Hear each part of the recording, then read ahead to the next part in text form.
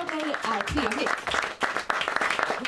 Ja, då ska vi börja med att välkomna vårt första exempel då som vi, som vi har sagt. Kristina Atley, förvaltningschef Västra Västergötlandsregionen. Varmt välkommen upp. Du ska få berätta om vad ni gör.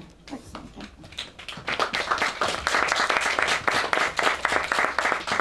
Tack så mycket. Eh, Kristina Atley heter jag som sagt. Det kommer gå undan nu så ni får, får hänga med. Och är det någon som vill ha presentationen efteråt så kontakta någon av alla som ser ut ungefär som jag och lämna e-postadresser eller så, så får ni gärna det. Eh, vi, jag kommer att prata under, under den här rubriken Samverkan skapar grogrund för utveckling av hästsporten. Så tror vi att det är. Regionen, det är 49 kommuner, fyra kommunalförbund, men också Sveriges enligt SCB hästtätaste län.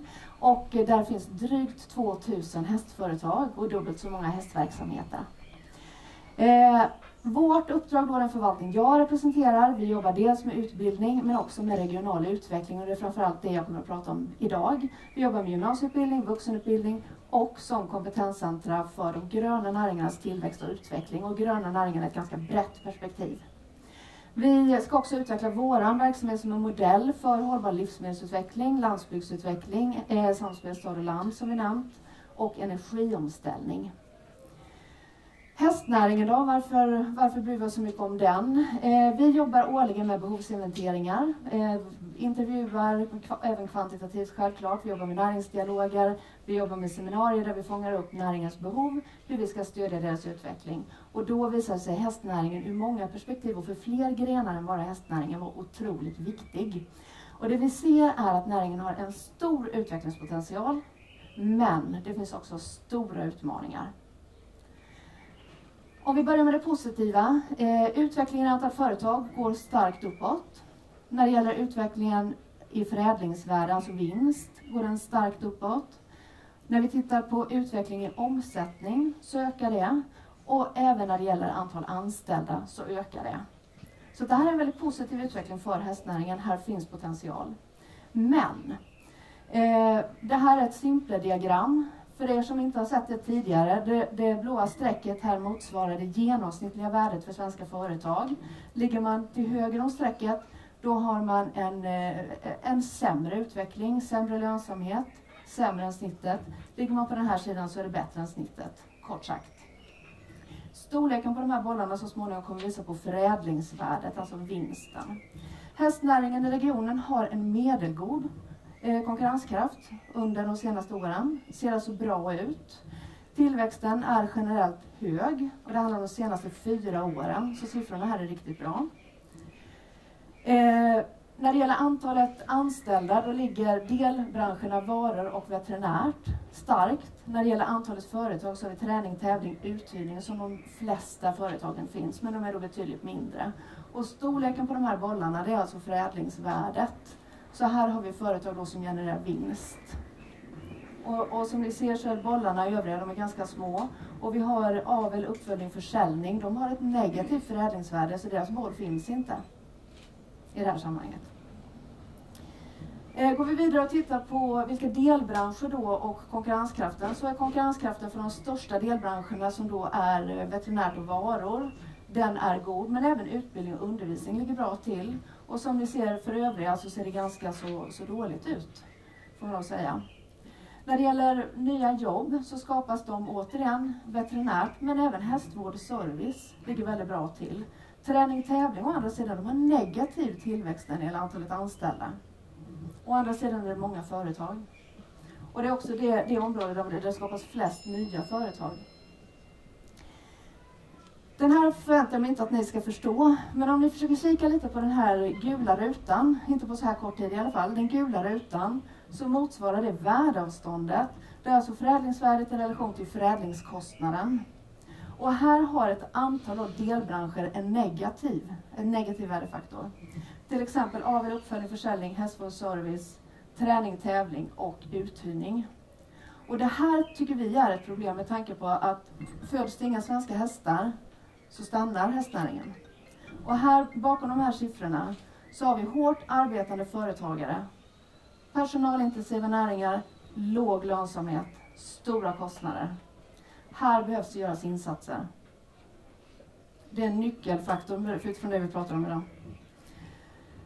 Sammanställning av resultatet, om vi börjar med det som är positivt. Det är en medelgod konkurrenskraft, det ser bra ut, utvecklingen går åt rätt håll. Men förklaringen till detta handlar om ett antal stora företag som driver utvecklingen. Och det är framförallt veterinär, varor och tjänster, utbildning.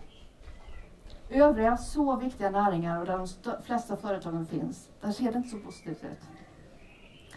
Om vi då går vidare till vad vi ser att vi skulle behöva göra åt det här och vad vi fokuserar på så är det för det första att säkerställa statistiken. Att se att det faktiskt finns en korrekt återkommande statistik att basera beslut på. Att synliggöra rollen för vår del då i den regionala utvecklingen. Och här handlar det väldigt mycket om att visa vilken potential som faktiskt finns. Och inte minst skapa arenor för de branscher som har stor utvecklingspotential. Hästens roll i samhällsplaneringen. Den stadsnära hästnäringen blir allt vanligare, större och viktigare. Men när det gäller samhällsplaneringen så tar man fortfarande inte in hästperspektivet. Säkra ridvägar, gödselhantering, eh, logistik, infrastruktur och så vidare. Eh, här behöver vi hjälp att ta fram framförallt beslutsstöd så att politiker och andra har ett underlag, checklistor att kunna kika igenom när man tar beslut. Att hur ska man kunna tänka på hästnäringen? Häst och hästrelaterat företagande. Eh, här behöver vi hjälpa företagen att lyckas. Och det handlar väldigt mycket om förutsättningarna för företagandet, affärssystemen och kunskapscentra kring det. Att hjälpa företagen bli lönsamma.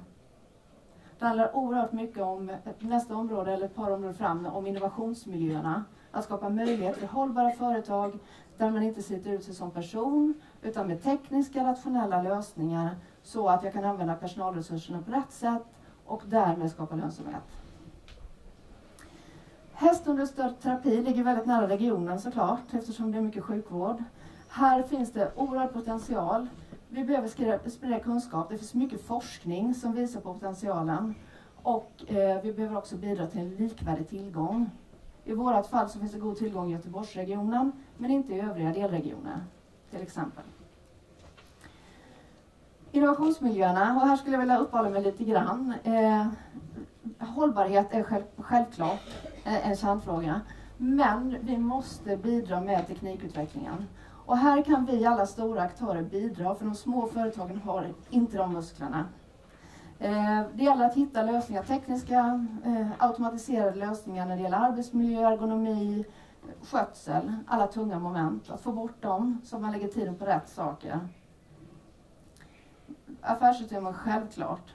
Och vi jobbar mycket med öppna testbäddar. Att eh, utgå från innovationen, uppfinningar och hjälpa till att skapa en kommersiell produkt utifrån det. Och för att lyckas med detta så samlar vi oss nu kring en arena där vi samlar oss, eh, kraftsamlar tillsammans med andra för att eh, bygga på det som redan finns men också kunna utveckla framåt och ge möjlighet till folk att komma och titta och se hur skulle jag kunna tänka när jag bygger, när jag startar mitt företag, hur ska jag tänka då? Vilka affärssystem passar min verksamhet?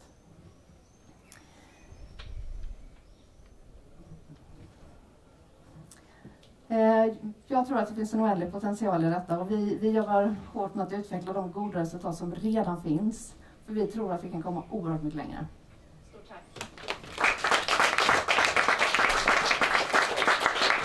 spännande att höra hur ni arbetar. Är det här, hur länge har ni arbetat så här strukturerat med de här frågorna?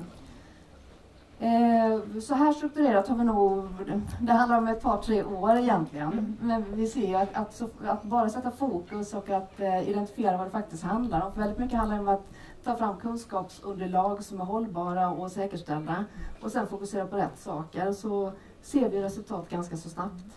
Jobbar ni eh, liknande med andra näringar? Ja. Ja, på vilka då? Inom samtliga inom gröna näringar. För det handlar väldigt mycket om livsmedelsutveckling, landsbygdsutveckling naturligtvis, jordbruksföretag generellt, eh, skogsnäringen såklart, men även smådjur. Även om företagen där kanske inte riktigt är på samma sätt som övriga. Att stödja landsbygdsutvecklingen på det sättet. Sen ni har satt fokus på den här frågan, du sa att ni ser resultat ganska snabbt. Mm. Eh, Vad är det som har hänt sedan ni började titta närmare på det här? Dels handlar det om kunskapsspridning men också samverkan. För vi, vi tror att vi måste samverka kring detta. Vi måste få bort de murar som finns. Vi måste få bort den konkurrens som finns. Och, och där man kanske inte alltid har stött varandra utan att man snarare konkurrerar och inte alltid pratar positivt om varandra heller. Att vi, vi, vi samverkan. Vi samverkan inom länet? Inom länet, men, naturligtvis även utom länet. Mm. Nu är det ju det vi jobbar mest med naturligtvis, men där handlar det väldigt mycket om den här typen av arenor där vi lär av varandra och, och sprider goda exempel och, och tar stöd. Mm, intressant. Är det någon som har en fråga? Ni ska inte vara blyga. Yes, här på näst första bänk. När du får mikrofonen får du gärna presentera dig och säga var du kommer ifrån.